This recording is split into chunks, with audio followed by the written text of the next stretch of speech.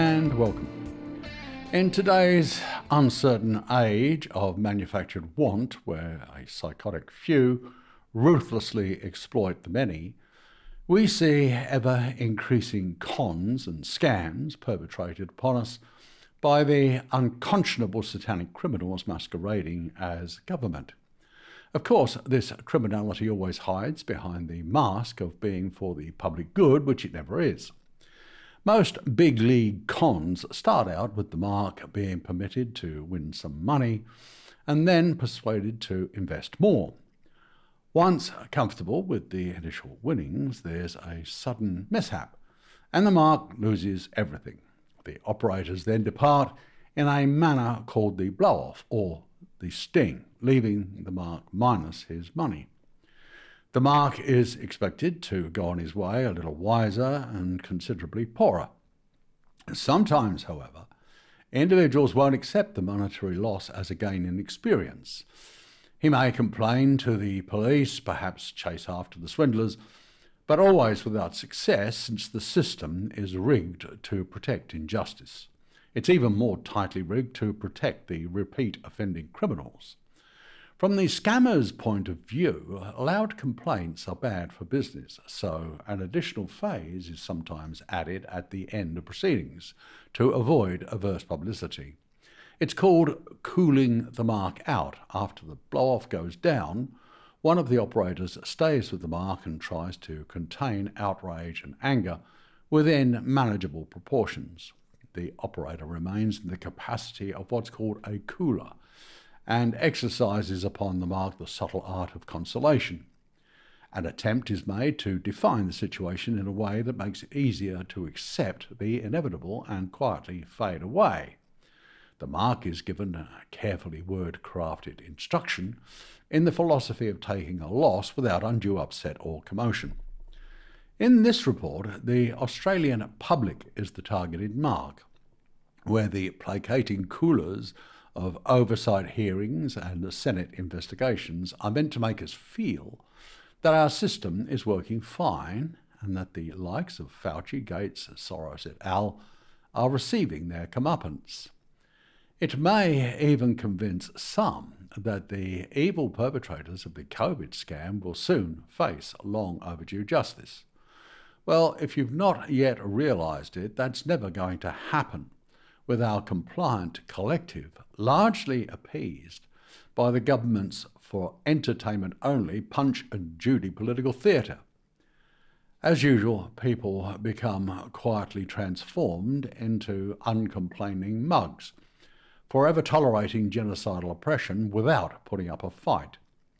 This unhappy fact certainly applies to the majority, but thankfully not to all an exponentially gathering percentage of situation alert and spiritually aware identify these genocidal crimes against humanity for what they are and for what they inevitably lead to. Unfortunately, a significant percentage of our community will go to their graves refusing to accept the uncomfortable fact that they've been mercilessly conned for centuries. These imbecilic morons are readily identified as the ones still wearing utterly useless self harming face masks for no reason whatsoever.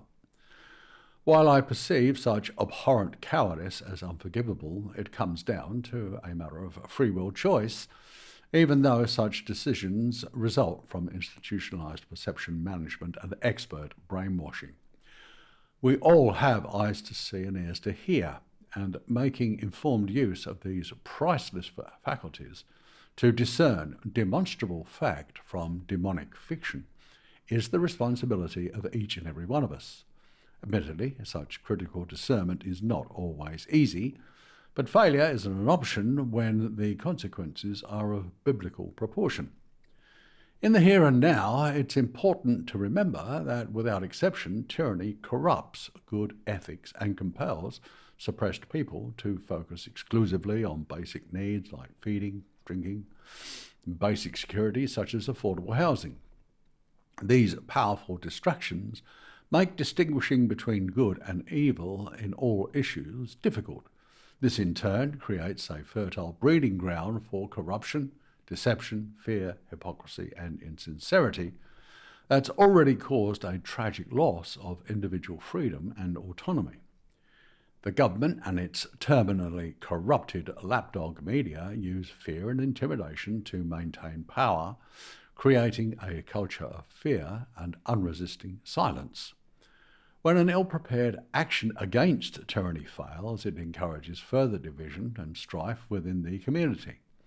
It should also be noted that removing one tyrant often leads to the rise of more extreme oppression from another source, which requires eternal vigilance on our part. We clearly see the contemptuous disregard for human rights and the community's well-being that's inflicted social disorder and injustice and justice breakdown. The wrongful jailing of a whistleblower David McBride demonstrates the current authorities no longer act within legal authority, and their unconscionable actions are not subject to the rule of law. There's no accountability or justice. They've ruthlessly usurped the rule of law into an instrument of brutal plunder, and without authentic law, we are deprived of our hitherto constitutional democracy. It simply no longer exists, having been trampled beneath the goose stepping jackboots of globalism. These undeniable facts highlight the devastating consequences of an obedient public following the dictates of globalist tyranny, ultimately leading to the obliteration of social order, justice, free speech, and individual freedom. While some may howl derision at this statement, the facts are borne out by the shameful example of government refusing to publicise the official list of 28 known pedophiles currently or previously functioning in senior positions of Parliament, higher echelon police, and the judiciary.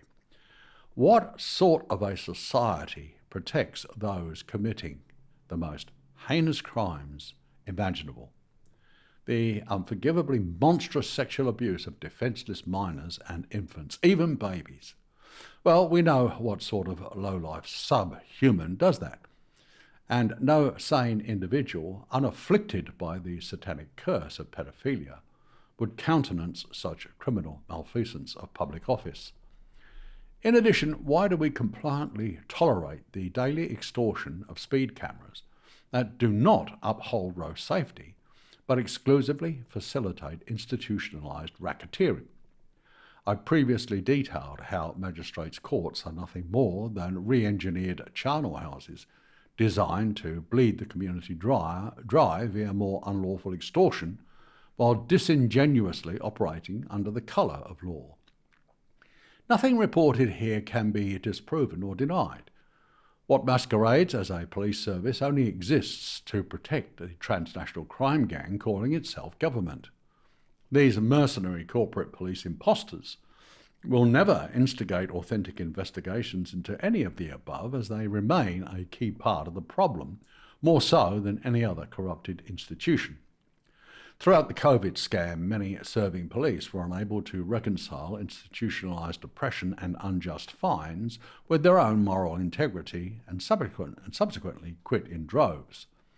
Many more no longer able to impose set quotas of infringements for the sole purpose of extortion, while unable to officially object such blatant racketeering, also departed, leaving a morally vacuous plethora of illegal order following Nazified bullies.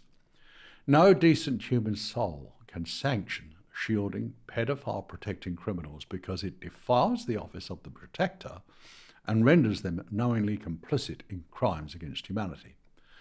I doubt we're likely to get any satisfactory outcome from toothless political inquiries, but at some point our satanic oppressors will get their dues. This can only happen when sufficient activists join the fight because, for the moment, frontline troops are numerically insufficient. Our resistance force of unified non-compliant campaigners expands in lockstep with the progressive failure of globalism's treasonous narrative. Be assured we will ultimately prevail against this satanic evil. In closing, please note that our authentic rule of law will be restored a whole lot sooner once everyone faces the undeniable truth and collectively confronts this ongoing globalist driven genocide. Thank you.